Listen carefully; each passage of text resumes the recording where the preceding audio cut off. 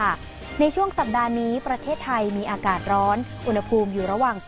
36-41 องศาเซลเซียส กระทรวงสาธารณสุข จึงขอให้ประชาชน ระวังการเจ็บป่วยที่อาจเกิดจากการเพลียแดด หรือโรคลมร้อนหรือฮิสโตก เพราะหากอยู่กลางแดดเป็นเวลานาน จนร่างกายไม่สามารถปรับตัวได้ จะทำให้อวัยวะต่างๆทำงานล้มเหลว โดยเฉพาะกลุ่มเสี่ยง อย่างผู้ที่มีอาชีพทำงานก่อสร้าง กรรมกร เกษตรกร กลุ่มเด็กอายุต่ำกว่า 5 ปี ผู้สูงอายุ ผู้ที่มีโรคประจำตัว ผู้ที่พักผ่อนไม่เพียงพอ และผู้ที่ดื่มเครื่องดื่มแอลกอฮอล์ขอให้ใส่ใจดูแลตัวเอง หากเป็นไปได้ให้งดออกไปอยู่กลางแดดเป็นเวลานาน ดื่มน้ำให้เพียงพอ วันละ 8-10 แก้ว สวมเสื้อผ้าที่ระบายอากาศได้ดี และไม่ควรดื่มสุรา